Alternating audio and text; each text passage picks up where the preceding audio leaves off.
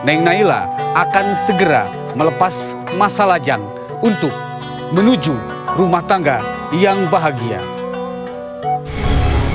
Zain milik aku dan selamanya akan jadi milik aku. Kebahagiaan kamu akan berakhir.